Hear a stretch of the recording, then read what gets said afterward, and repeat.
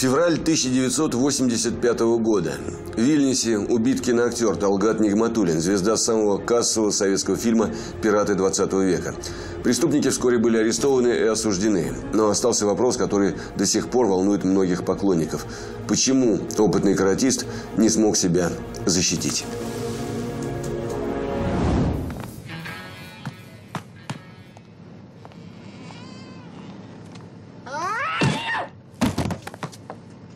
Знаменитая сцена из фильма «Пираты 20 века». Бандит Салех ударом ноги уверенно посылает в нокаут советского моряка. В роли жестокого джентльмена удачи Талгат Нигматулин. Фильм сделал его настоящей звездой трюкового кино. Никто не может представить. Всего через пять лет актер будет убит при чрезвычайно странных обстоятельствах. Кадры процесса, на котором судят убийц известного артиста.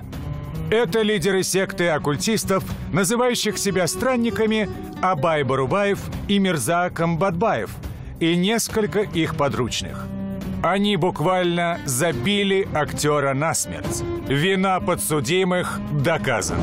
За убийство Нигматулина Абай был приговорен к 15 годам колонии усиленного режима. Мерза к 12. Здесь все было ясно. Но вот с другим обстоятельством так и не удалось разобраться. Никто не мог понять и в процессе суда, и в процессе экспертиз, почему Талгат не оказывал сопротивления. Талгат Нигматулин был обладателем черного пояса по карате и чемпионом Узбекистана. Но почему он так и не применил боевые навыки, чтобы спасти свою жизнь? Не убивай меня! Я тебе пригожусь! Все сделай! Руки! Руки!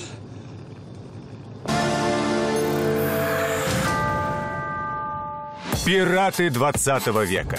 Мальчишки 80-х знали эту кинокартину наизусть. Она получилась такой чистой, романтической, правильной. И самое такое о советском рэмпе. Мы не ожидали такого бешеного успеха. Это суперчемпион советского проката под 100 миллионов зрителей. Знаменитый режиссер Станислав Говорухин написал сценарий советского боевика, который оказался популярен не только в нашей стране. Я однажды попал во Вьетнам уже год через два. И там меня представляют на вьетнамской студии. Ну, вот он снял такую картину, место встречи изменить нельзя, там, не знаю, Робинзон Круза. И да, ноль внимания. Ну, снялся. А потом переводчик говорит, вот, в частности, это автор сценария пираты 20 века, так они меня чуть не разорвали на куски, хотели дотронуть. Но мало кто знает. Комиссия Госкино поначалу запретила прокат фильма. Чиновникам показалось, в картине слишком много сцен насилия. Нам сказали, что если еще одно движение карате, мы закроем фильм. Тадеуш Касьянов, основатель Российской Федерации рукопашного боя, не только снялся в одной из ролей, но и поставил в фильме все трюковые сцены. Впрочем, советский зритель мог их и не увидеть, если бы не сам генеральный секретарь ЦК КПСС. Показали его Брежневу на даче. Он заплакал и говорит, какие у нас есть хорошие ребята. И фильм тут же вышел на экраны. Талгат Нигматулин сыграл в боевике отрицательного персонажа. Но именно ему пытались подражать тысячи советских мальчишек. Это хорошие виски.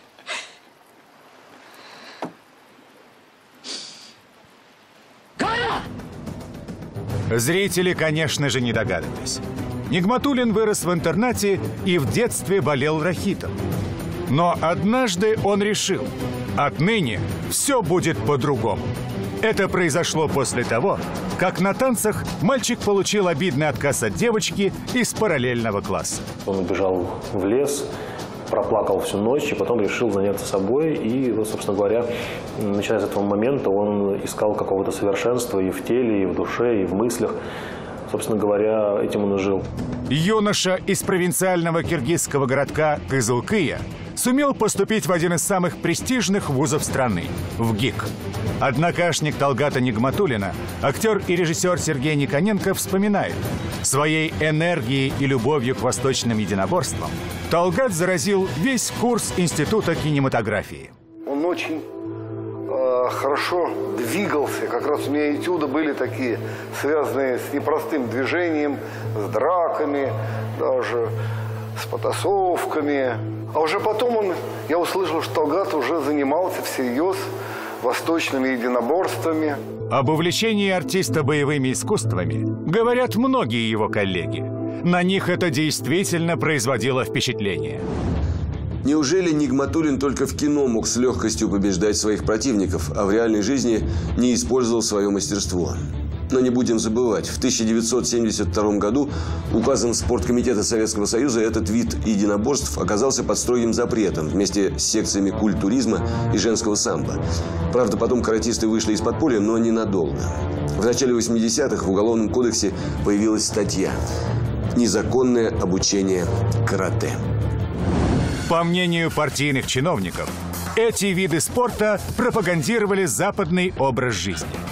Президент Национальной Федерации карате России Александр Иншаков о событиях 30-летней давности сегодня вспоминает с горькой иронией. В 1982 году запретили это уже после событий в Польше. Вот вся, вся эта история. Почему-то решили, что карате тоже очень опасный для социума российского вид, вид боевых единоборств, что вдруг каратисты станут революционерами. Но запрет только подстегнул интерес людей к карате. В Советском Союзе стали открываться подпольные секции. Я точно так же занимался и карате подпольно и платил по 15 рублей в месяц. Мастер восточных единоборств Юрий Кармушин вспоминает, достать специальную литературу по карате в 70-е годы в СССР было невозможно. По стране ходили книги, переписанные от руки – у меня был э, товарищ, у которого родители жили в Индии. И они привезли из Индии книжку по карате на английском языке. Я взял копирку за ночь, за всю ночь под копирку, перерисовал все эти стойки, все то, и переписал текст вручную. Мог ли Талгат Нигматулин в таких условиях по-настоящему овладеть искусством восточного единоборства? Он талантливый, как актер но не как каратист. Да. И взял некоторые вещи, и они у него неплохо получались. Но это если судить с точки зрения опытного мастера. Для актера же Нигматулин владел бойцовскими навыками на довольно высоком уровне. Он стал одним из первых, ну, как говорят, а, очень умелых спортсменов, а, который э, занимался карате. Почему же Талгат Нигматулин не смог защитить свою жизнь, когда его жестоко избивали? Любой человек нормальный, нормально себя чувствующий, не позволил бы никогда с собой так поступать.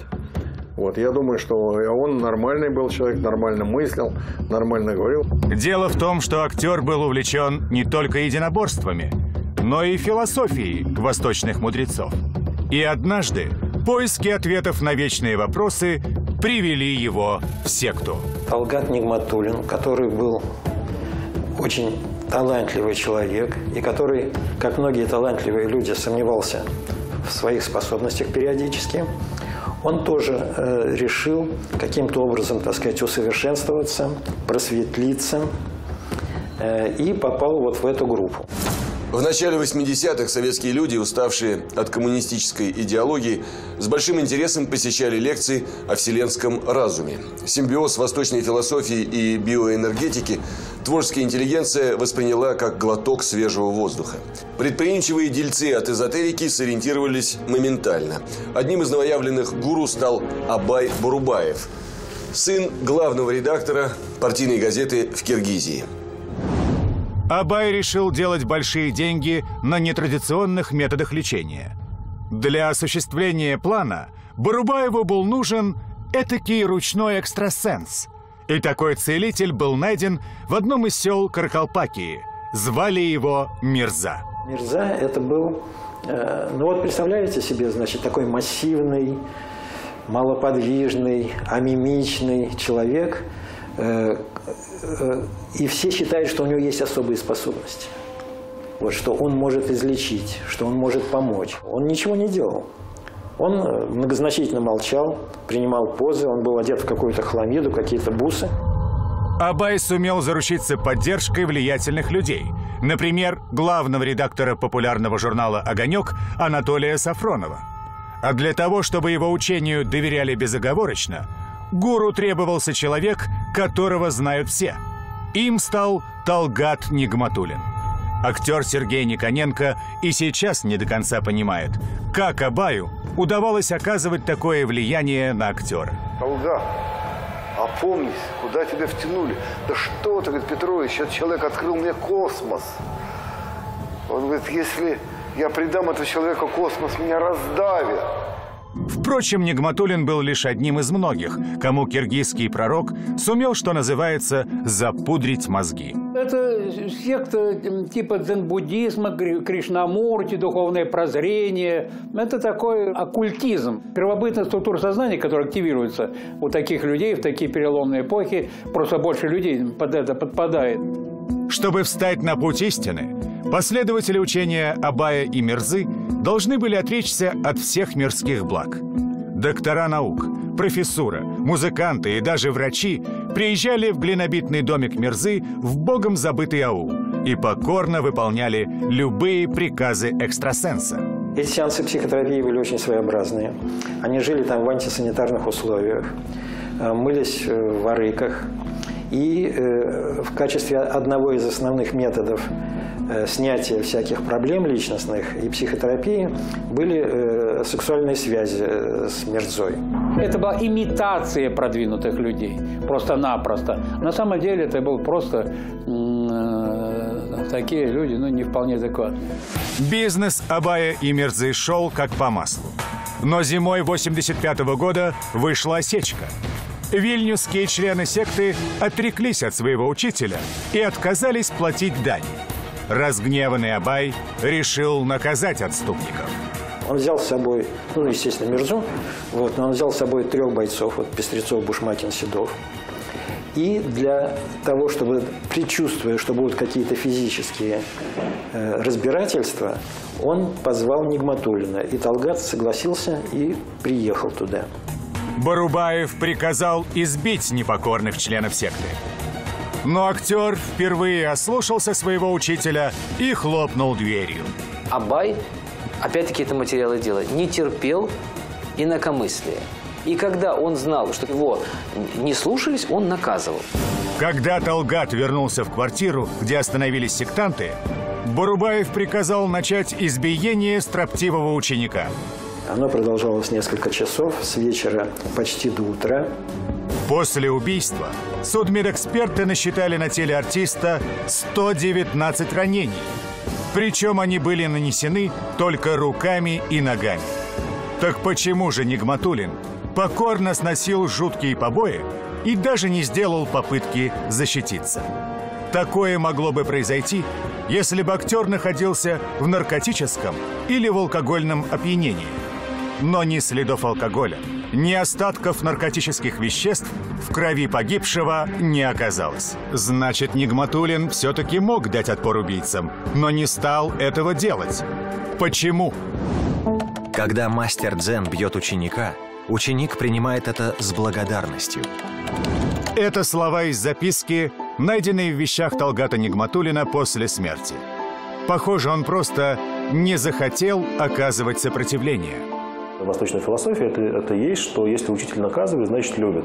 А так как отец э, он очень с уважением относился и к Востоку, и к философиям различным, и в том числе к своему учителю вот в этой секте, э, он не мог сопротивляться. Но в тот момент, когда он понял, что уже надо сопротивляться, уже не было сил сопротивляться. Талгат стремился познать таинственный процесс саморегуляции. Надеялся на просветление – но его эксперимент обернулся трагедией. А своих убийц он до последнего момента считал друзьями, которые просто запутались в поисках истины. Но есть и еще одна важная деталь, не имеющая к дзен-буддизму никакого отношения. И именно она может дать трагедии совсем другой поворот и смысл. Когда эксперты-криминалисты осматривали искалеченное тело Нигматулина, они сняли с него православный крестик. Незадолго до гибели актер окончательно разочаровался в псевдоучении Абая и Мирзы и принял православную веру. Один из главных ее постулатов – непротивление злу насилием. Быть может, своей смертью Талгат хотел показать сектантам, что истинную веру невозможно победить грубой силой. К сожалению, ответ на этот вопрос мы не узнаем никогда.